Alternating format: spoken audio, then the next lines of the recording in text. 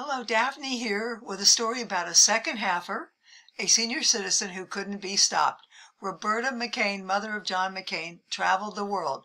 Under the category of never allowing a no to alter her plans, Roberta found herself overseas at a rental car agency in Paris, where she was denied a rental car as being because she was too old at age 93.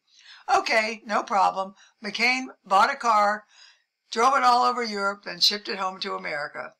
When his mother died at age 108, her son Joe opined about her life as one lived to the max. She went everywhere she wanted to go and did everything she wanted to do. Wow, that is a beautiful and wonderful way to be remembered.